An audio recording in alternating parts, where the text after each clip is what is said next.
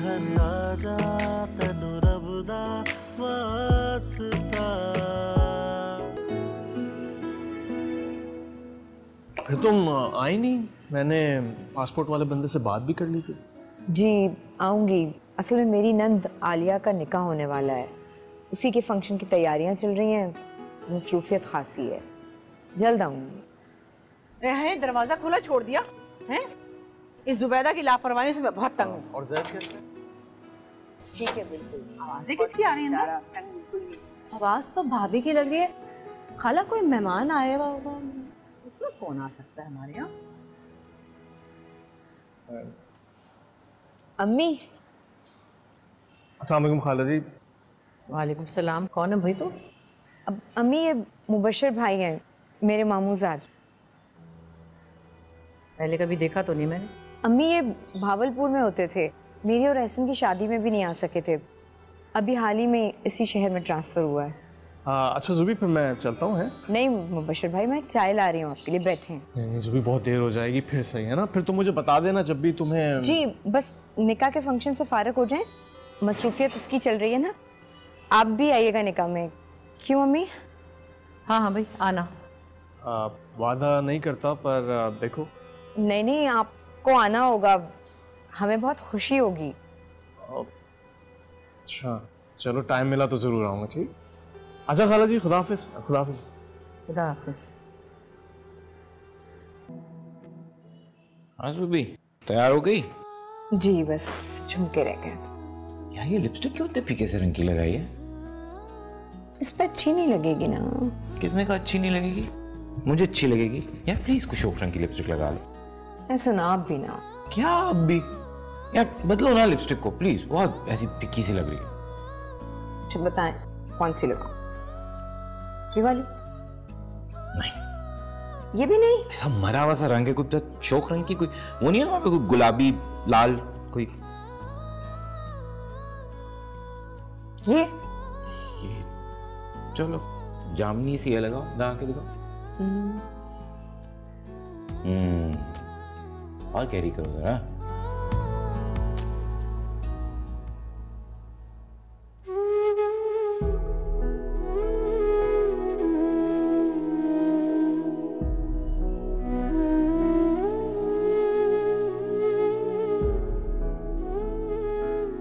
हेमन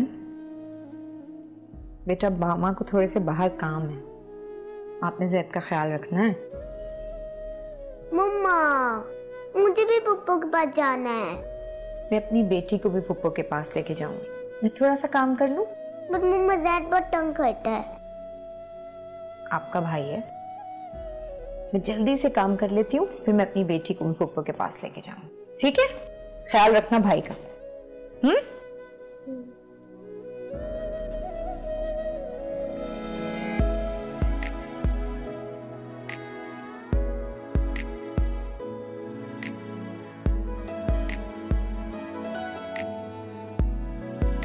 ये नोशी अपने मैके जाते हुए क्या तुम्हारी अकल तमीज सब ले जाती है? एक तो आप मेरी बीवी का पीछा छोड़ दो और दूसरा आप अपनी चहीती बहू जुबैदा भाभी पे नज़र रखें कि वो कहाँ जा रही हैं किससे मिल रही हैं क्या चल रहा है। अरे क्या हुआ क्या है? क्या हो गया? ये पूछे क्या नहीं हुआ? अभी अभी देखा मैंने जुबैदा भाभी को अपने नए नवेले कज़न मुबशर भाई जान के साथ रिक्शे से उतरते हुए। बशीर के साथ? तो वो तो एमन के स्कूल में गई थी वो किसी मीटिंग वीटिंग में? स्कूल का बहाना बनाकर पता नहीं कहाँ कहाँ मौज मस्ती हो रही है अपने नए कज़न मुबशर भाईजान के साथ। मेरा तो खून खोल रहा है अम्मा अच्छा अच्छा। अपनी ज़ुबान भी कंट्रोल में कर अपने खून को भी। आती है तो बात करती हूँ।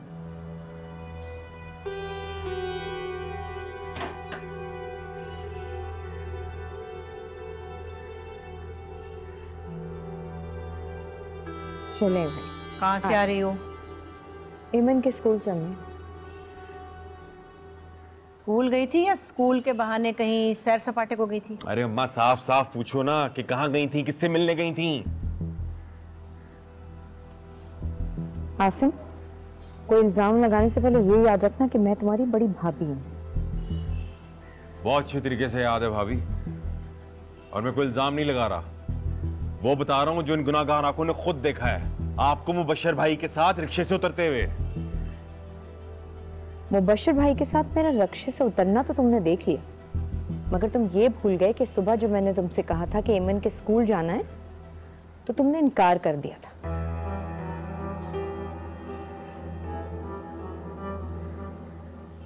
हमारे लिए ना तो वक्त है, ना ही गाड़ी की सहूलत। अब अगर मुझे तपती दोपहर में बच्चों को स्कूल के बाहर खड़ा देखकर मुबशर भाई ने रक्षे में बिठा लिया। तो इसमें क्या बुरा किया? बच्चे गर्मी से निढाल हो रहे थे। कोई सवारी नहीं मिल रही थी। मेरी बच्ची तरस गई है गाड़ी में बैठने के लिए। इसका कभी ख्याल नहीं आया तुम्हें? अच्छा जुबैदा अंदर चलो तुम जरा मनाओ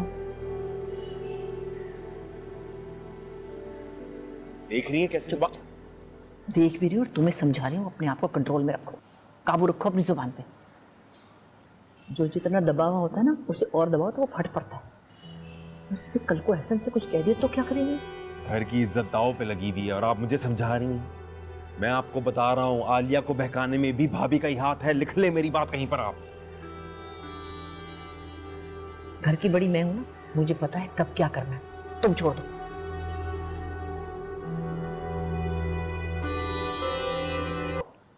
हेलो जूबी एहसन कैसे हैं आप? जूबी मैं ठीक हूँ।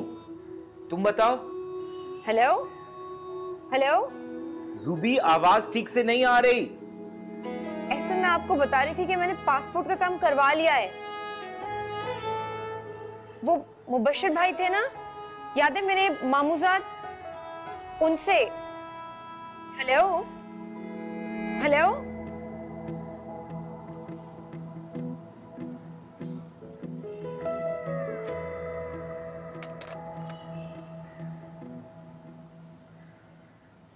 चलो चलो। हम घर मारे। इस अजाब को ले गए थे। ये तो बहुत गंदे क्या हो गया आसिम? क्या हो गया? इंतहाई शरारती और बदतमीज लड़की है आपकी। कोई तमीज नहीं सिखाई आपने इसको? ऐसा क्या हो गया है बच्ची से? अरे एक नंबर की शैतान है। बाज़ार जाते उंगली छुड़ा के पता नहीं कहाँ गायब हो गई। हमने खाक शॉपिंग करनी थी। दुकानों में मारे मारे फिरते रहे इसे ढूंढते हुए। और पता चला किसी अनजान शख्स की उंगली पकड़े चली आ रही है। भाई तौबा है तौबा। अगर अगर ये खो जाती तो ऐसा नहीं तो सारा इल्ज़ाम हम पर देना था ना? अब सब लोग साथ थे। फिर भी इसका ख्याल नहीं रख हमने नहीं ख्याल रखा? भाभी आप क्या सिखा रही है अपनी बच्ची को? माँ का काम होता है बच्चे को तमीज सिखाना।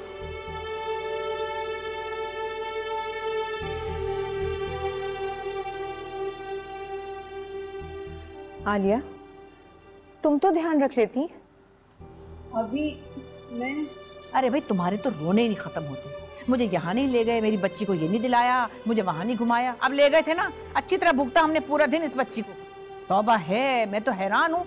इतनी तेज बच्ची मैंने कभी नहीं देखी। बड़ी आफत की परकाला है भाई। तौबा तौबा। अल्लाह ही है जो इसको संभालेगा। आप पूछती क्यों नहीं इससे? एमन बताओ मुझे। चाचा सही कह रहे हैं? बोलो। क्यों छोड़ा था पुप्पो का हाथ? क्यों छोड़ा था पुप्पो का हाथ? कहाँ से आ रही हो? एमन के स्कूल से। वो बताया था ना इसके स्कूल में स्पोर्ट्स डे बकवास कर रही हो तुम। झूठ बोल रही हो। अरे शोहर सर पर नहीं है और तुम हो के गैर मर्द के साथ घूमती फिर रही हो। अम्मी खुदा के लिए। एमन कमरे में जाएँ आप। एमन एमन जाओ अपने कमरे में। एमन को तुमने हमारे साथ रवाना किया और इतनी बेचैन हो गई कि उसके घर तक पहुँच गई। हैं? मेरा बच्चा वहाँ दिन रात मेहनत कर रहा है गर्मी में अपनी जान जला रहा है। किसके लिए? अपने बच्चों के लिए तुम्हारे लिए। और तुम अम्मी खुदा का वास्ता आपको। इतना बड़ा इल्ज़ाम नहीं लगाए मुझ पर। आँखों देखी बात हकीकत होती है इल्ज़ाम नहीं होता भाभी। जिस घर की इज़्ज़त की मिसालें लोग दिया करते थे आज उसके बारे में बातें हो रही हैं वो भी थड़ों और चौराहों पे। बातें तो मुझे सुननी पड़ती कि मैं बाहर जाता हूँ। हसन क्या क्या कह रहे हैं आप लोग? हेलो?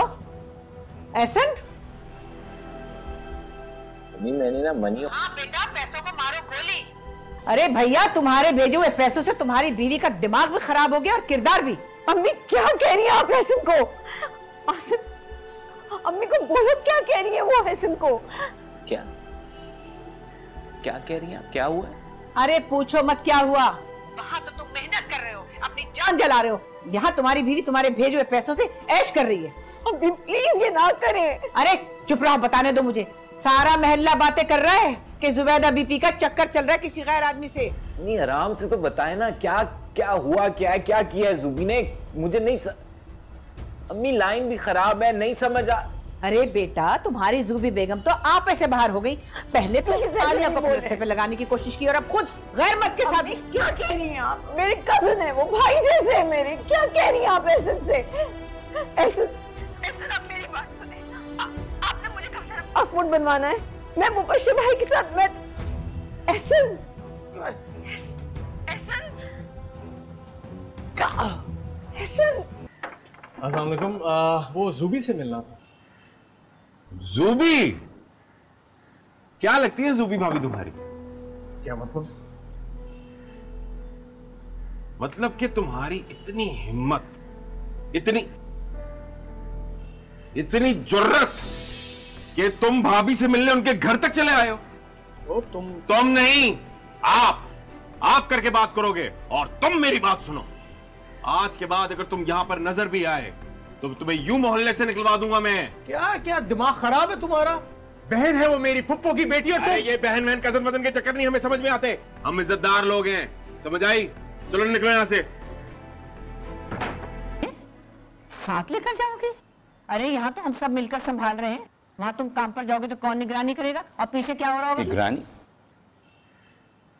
हमें मुझे जुबी की निगरानी करने की ज़रूरत नहीं है। वो तो खुद मुहाफिज है मेरे घर की मेरी इज़्ज़त की। भाई आप नहीं जानते। बस आसिम मैं अब जूबी के खिलाफ एक लफ्ज नहीं सुनूँगा। और मैं मुझे तो आप पे हैरत है। आपने कैसे मान लिया कि जूबी ऐसा कुछ कर सकती? इंसान घर में जानवर रखता है तो इतने सालों में उसकी खसरत से वाकफियत हो जाती है। आप इतने अरसे में जूबी को समझ नहीं पाई। आपके दिल में ये शायबा भी कैसे आए? अरे मैंने क्या किया? सारे महल्ले ने देखा कि वो उसके घर जा रही थी अपने कज़न के यहाँ और घूम फिर रही थी उसके साथ। अम्मी पासपोर्ट बनवाने गई थी उसकी मदद ले रही थी। इससे दरखास्त की थी कि ले जाए अपनी भाभी को। मसरूफियत का बहाना बना दिया आसिम ने। भाई मैं वाकई में मसरूफ था आलिया की शादी और फिर हाँ आसिम काम के लिए तुम मसरूफ थे और भाभी पे इल्ज़ाम लगाने के लिए तुम फारिग थे। अब इस मसले को लेकिन मैं जड़ से खत्म कर दूँगा। जूबी और बच्चे मेरे साथ जाएँगे। जूबी जूबी जी आई।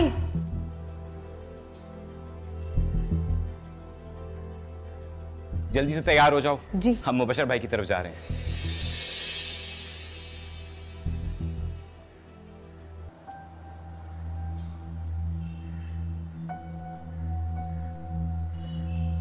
फिर क्या सोचा आपने?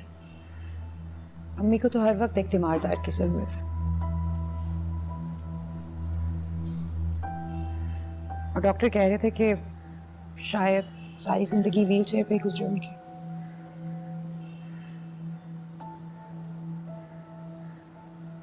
नौशी की तो अपनी हालत ठीक नहीं रहती।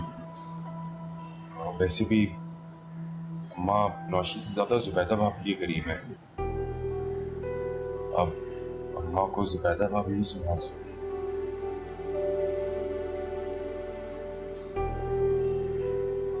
जुबी जूबी और बच्चे इस बार मेरे साथ जा रहे हैं।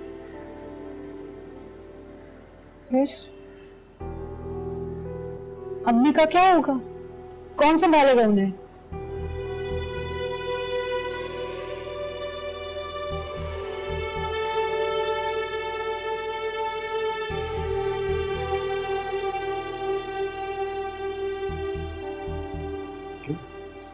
सब लोग नहीं हो यहाँ? तुम हो आलिया है नौशी है। और अगर ज़्यादा ज़रूरत पड़ी तो तो मुलाजमा या नर्स रख दूँगा मैं। वाह एहसन भाई बहुत खूब कही। मेरी माँ का ख्याल नौकर रखेंगे। और मेरा और आलिया का तो बहुत खूब कहा हम अपने ससुराल संभाले या मैके के चक्कर लगाते रहे? पता है कितनी मुश्किलों से वो अस्पताल में रुकी हुई है? उसकी सास बीमार है। दो दो बेटे हैं मेरी माँ के और संभालने के लिए एक भी तैयार नहीं है। तुम क्यों चुप करके बैठे हो? बोलते क्यों नहीं कुछ? मैं क्या बोलूँ? नौशी की हालत तो आप लोगों के सामने है और जुबैदा भाभी को बोलना चाहिए। ठीक है। मैं संभालूँगी अम्मी।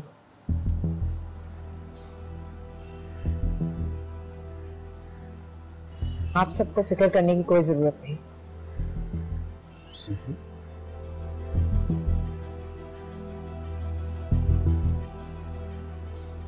माँ है वो मेरी। और माँ की खिदमत की सादत किसी किसी के नसीब में आती है।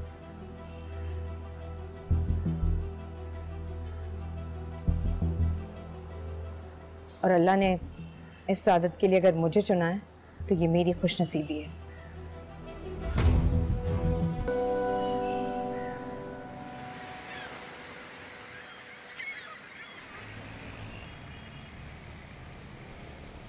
अम्मी कहाँ है आपकी?